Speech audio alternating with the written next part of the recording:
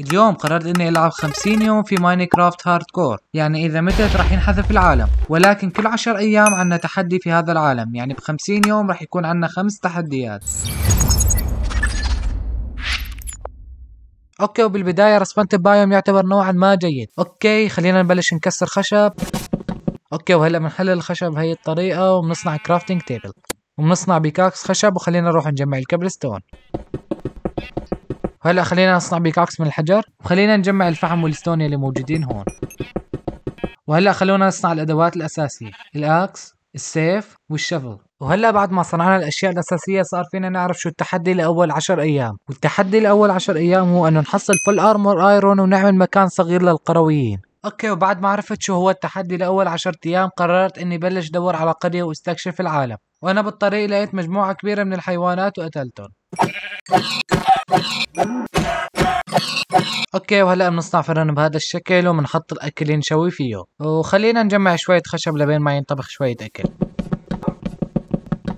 وبعد ما خلصت من تجميع الخشب قررت إني أكمل باستكشاف العالم. أوه nice كتير في بقر هون. وللأسف صارت معي مشكلة إنه صار الليل وللأسف ما كان معي إلا حبتين صوف ولكن الحمد لله إنه صار معي هذا الشيء. أوه خروف قدامي الحمد لله لقيته قبل ما يبلشوا يرسبنوا الوحوش. وبنقتله بهذا الشكل وبنصنع التخت وبننام أول ليلة إنه في ماينكرافت. وبصباح اليوم الثاني كسرت التخت وال crafting table وكملت برحلتي الاستكشافية. أوه لقينا هذا ال biome هذا ال biome كتير حلو بيكون فيه كتير فحم. وهلا صار معنا حوالي 52 فحمة هيك خلص بكفي بتوقع التجميع. أوه كأنه لقيت قرية أخيرا. وبدأت بتلويت القرية ولكن للأسف كان ال loot اللي موجود بالقرية جدا سيء. لهيك رحت صنعت hoe من الخشب وجمعت ال hay bale اللي موجود بالقرية. أوه أخيرا خلصت كل كمية ال hay bale الموجودة وبعد ما كسرت كمية ال hay bale قررت إني أقتل ال iron golem وبعد ما قتلت ال iron golem نقيت هذا البيت من البيوت الموجودة مشان أسكن فيه. فكسرت الأشياء الموجودة فيه وصنعت صناديق وحطيت فيهم الأغراض اللي كانوا معي. كان معي أربعة iron من ال iron golem لهيك قررت إني أصنع فيهم shield و pickaxe iron وبعدين صار الليل وحطيت التخت بالبيت ونمت. قضيت اليوم الثالث والرابع وأنا أظبط منطقة للقرويين فحفرت حفرة تحت الأرض وحطيت فيها أسرة. وبعدين سحبت القرويين على هاي الحفرة وزوجتهم وحطيت لهم شوية أشغال مشان يتزوجوا أكثر. وبعدين حطيت لهم شموع وهيك بنكون خلصنا نص التحدي تبع العشر أيام الأولى يلي هو إنه نعمل منطقة صغيرة للقرويين. وبعد ما خلصت من تظبيط منطقة القرويين قررت إني أروح دور على كهف مشان جمع موارد. ولقيت هذا الكهف على الطريق وقررت إني أنزل وشوف شو فيه loot وراح أختصر لكم الوقت يلي راح جوا الكهف لأنه ما لقيت كتير موارد ما لقيت إلا شوية iron وشوية فحم. ولكن الشيء المهم يلي لقيته بهذا الكهف يلي هي منطقة ال deep dark. ولكن ما فت استكشفت المنطقة لأنه ال loot اللي معي ما بيسمح لي بهذا الشيء. وبصباح اليوم الخامس طلعت من الكهف ورجعت على البيت وصنعت شوية أفران وحطيت فيهم ال iron. وبعدين صار الليل ونمت. وباليوم السادس كملت بنقل القرويين للحفرة. ورحت صنعت قصاصة وقصيت الخواريف مشان أقدر أصنع تخوت وحطها بمنطقة القرويين. وبعدين صنعت ال fletching table مشان أقدر أتقايض مع القرويين عن طريق ال stick. وصنعت full armor iron وهيك بكون أتممت التحدي تبع أول عشر أيام.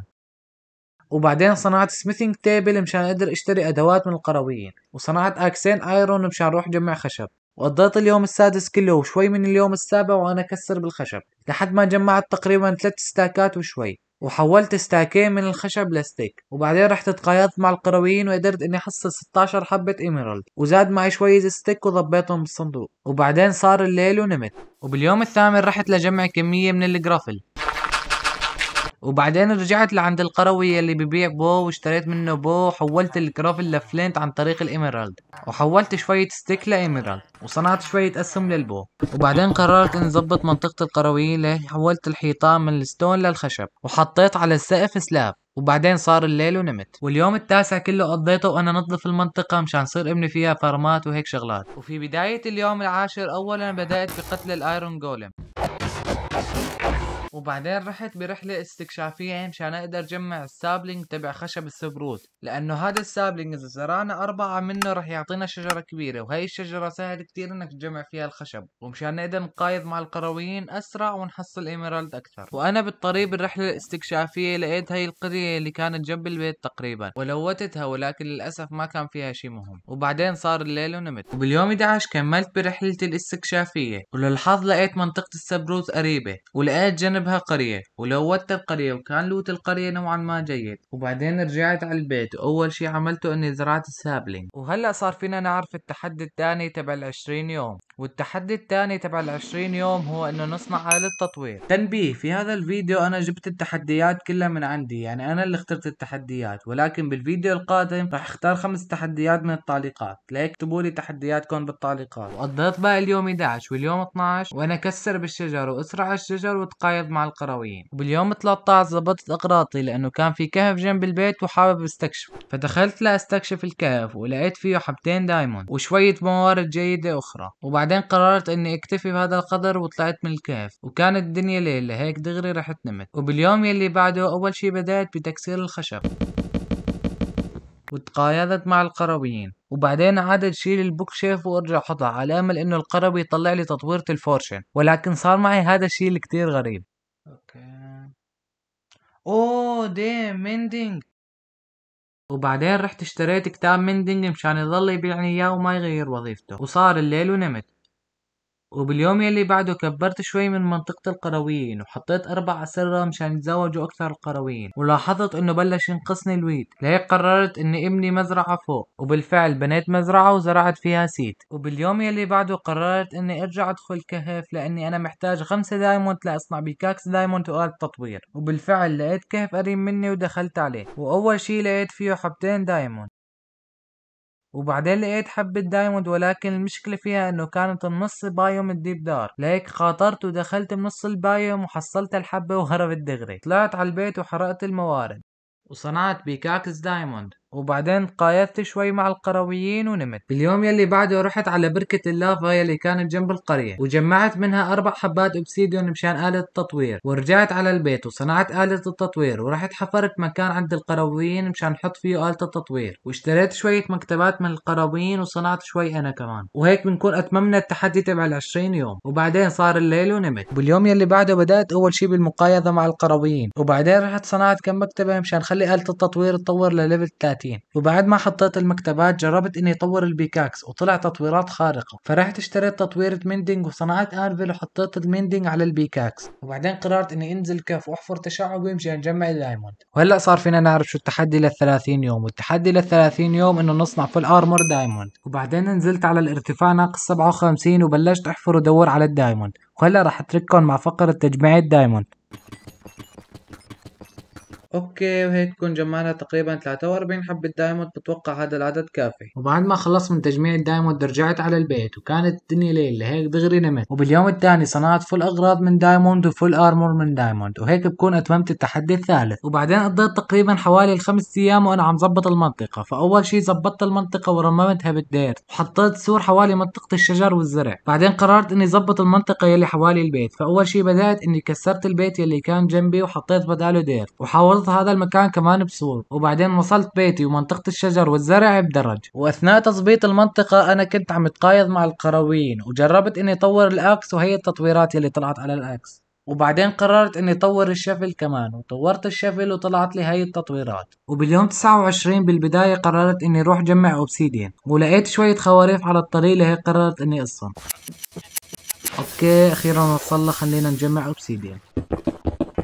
وبعد ما خلصت من تجميع ال obsidian رجعت على البيت وكان ليل لهيك دغري نمت. وباليوم يلي بعده أول شي بدأت بصنع آلة ال nether وبعدين جهزت اغراضي وفتت على ال nether. okay خلينا نجمع شوية كوارتز.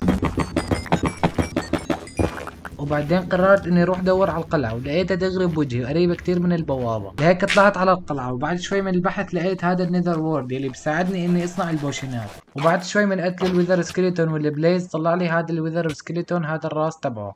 وبعدين قررت إني أرجع وبيوم تاني برجع وبلوت القلعة كاملة. وهلا بما إنه نحن استكشفنا ال nether صار فينا نعرف شو التحدي لل40 يوم. والتحدي لل40 يوم هو إنه نصنع full armor netherite وباليوم يلي بعده بدأت بصنع ال wool farm لأني بحتاج ال wool مشان نصنع الأسرة يلي راح يساعدوني إني اجمع netherite بطريقة أسهل. وبعد ما خلصت من بناء ال wool farm كانت أصعب مرحلة هي نقل الخروف إلى ال wool farm ولكن الحمد لله تمت بسهولة وقصيت الخروف مشان تشتغل ال wool farm وبعدين قررت إني أبني wool farm تاني مشان ضاعف الإنتاجية. وبعد شوي قررت إني أجمع كل ال wool يلي عندي إياه بالبيت وال wool يلي جمعته ال wool farm مشان اصنع تخوت وروح جمع netherite ونزلت على الارتفاع 15 وهلأ بترككم مع مرحلة تجميع ال netherite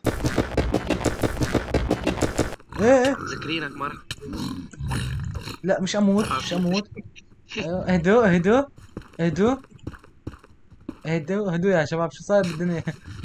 وبعد ما خلصت من تجميع الكمية المطلوبة يلي هي 24 حبة قررت إني أرجع على البيت. أول ما رجعت على البيت لقيت الدنيا ليل لهيك دغري نمت. وباليوم الثاني بلشت أول شي بنقل الأغراض يلي جمعتهم على الصناديق. وبعدين قررت إني طور ال chestplate تبعي وطورت ال chestplate طلع لي unbreaking 3 و protection 3 وبعد ما طورت ال chestplate حولت الدرع تبعي لل netherite وحولت السيف وال pickaxe. وهيك بكون ختمت التحدي تبع ال 40 يوم.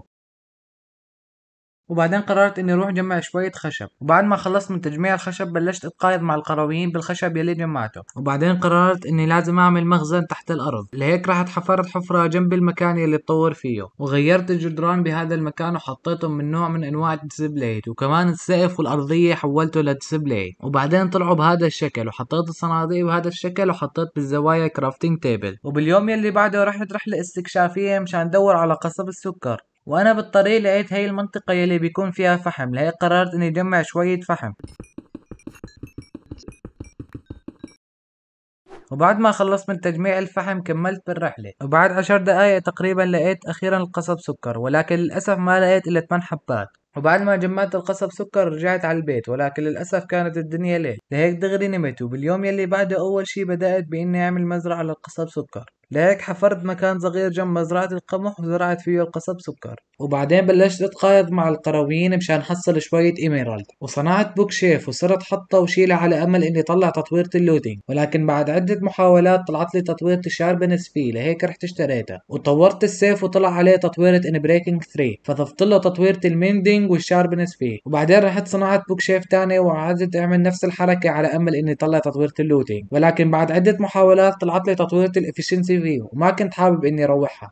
لهيك قررت إني أشتري كتاب مشان خلي هذا القروي يبيع نفس التطويرة وحطيت هذا الكتاب على ال axe. وقضيت باقي الأيام لليوم 41 وأنا كسر بالخشب. وبعدين كملت بالمقايضة مع القرويين مشان حصل شوية emerald وبعدين صنعت bookshelf مشان حصل تطويرة ال looting ولكن صار الليل وما حصلت تطويرة ال looting وثاني يوم طلعت شيل بال bookshelf وحطها لأخيرا طلع لي تطويرة looting واحد. فقررت إني أشتري أربع كتب ادمجهم سوا مشان حصل looting 3 وبعد ما حصلت looting 3 إجيت لحطها على السيف ولكن للأسف ما كان معي XP فخلونا نروح نجمع XP شوي. أوه هلأ هيك بنكون جمعنا كمية ال XP المطلوبة. وبعدين رجعت على البيت ودمجت الكتاب مع السيف وصار عندي تطوير ال looting 3 على السيف تبعي. وهلأ بعد ما حصلنا تطوير ال looting صار فينا نعرف شو هو التحدي الخامس والأخير. التحدي الخامس والأخير هو إنه نقتل التنين. وبعدين قررت إني أروح على ال nether مشان جمع ال blaze rod وعيون ال enderman. فأول شي رحت على القلعة ولقيت هذا الصندوق يلي ما كنت فاتحه وفيه أربعة diamond. وبعدين لقيت منطقة ثانية لل nether wart يلي جمعتها مشان أصنع البوشينات. ولقيت هدول الصندوقين يلي لقيت فيهم saddle وشوية iron و gold وبعدين قررت إني أروح جمع ال blaze rod وضليت أقتل بال blaze لجمعت عشر حبات blaze rod وبعدين قررت إنه هذا العدد كافي وخليني أروح دور على المنطقة الزرقاء مشان اقتل ال enderman. وأخيرا بعد ما لقيت المنطقة الزرقاء بدأت بقتل ال enderman. وجمعت 16 عين من عيون ال enderman.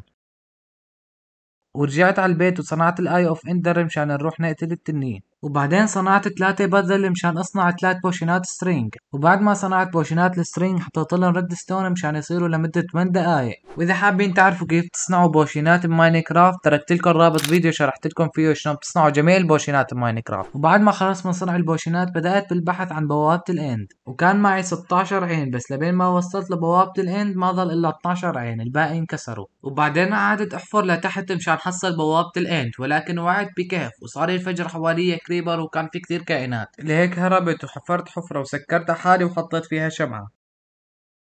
وبعدين رجعت أحفر لفوق لأني ضيعت المكان تبع البوابة. ولما طلعت على فوق ما بعرف صار يصير glitch لما زت العين تختفي دغري وما عاد لاقيها فلبين ما لقيت المكان مرة تانية كنت خسران أغلب العيون يلي معي وما ضل معي إلا ست عيون. فقررت إني أنزل وأشوف البوابة قديش في عيون. وإذا ناقصنا عيون برجع على البيت بجمع العيون وبرجع لهون. ولقيت بالبوابة عينتين لهيك حطيت الست عيون اللي معي وضل ناقصني أربع عيون.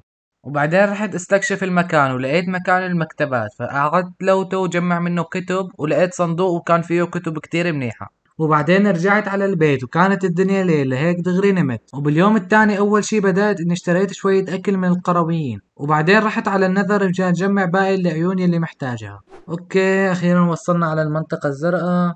وبعدين ظليت أقتل بال enderman لجمعت تسع عيون. nice وصلنا على البيت أخيرا. وأول ما رجعت على البيت حطيت ال blaze مع عيون ال enderman مشان حصل ال eye of ender وبعدين رحت على بوابة ال end وحطيتهم وفتحت بوابة ال end بعدين دخلت لعند التنين وبلشت إني كسر الأبراج تبعه. okay أخيرا كسرنا كل الأبراج. وبعدين ظليت استنى لينزل التنين وأضربه لحد ما صارت هاي اللقطة. نتف نتف. أوه. تكة تكة دم okay nice aim يلا موت. okay آخر طلقة. أصيبه إياها. أخيرا. قتلناه يا شباب. nice. وبعد ما قتلت التنين قررت إني أروح أستكشف ال end city ودور على ال elytra بعد ما فتت على ال end city لقيت قلعة بوجهي ولكن للأسف ما كان فيها سفينة. هيك قررت إني ما loot ها واستنى لحصل ال elytra وبعدين برجع ب loot كل ال end city وضليت دور على قلعة معها سفينة لاخيرا لقيت هي القلعة يلي كان في معها سفينة. ورحت وكان في صندوقين صندوق لقيت فيه شوية diamond وصندوق لقيت فيه أغراض مو كتير مهمة. وبعدين أخذت ال elytra ورجعت على البيت. وبعدين رجعت على البيت وكنا باليوم 49 لهيك قررت إني طول الدروع تبعي. وبعدين صار الليل ونمت وهيك بنكون عشنا 50 يوم في ماينكرافت hardcore إذا بدكم الجزء الثاني ينزل بأسرع وقت توصلوا هذا الفيديو ل 200 like. وبس شكرا على المشاهدة.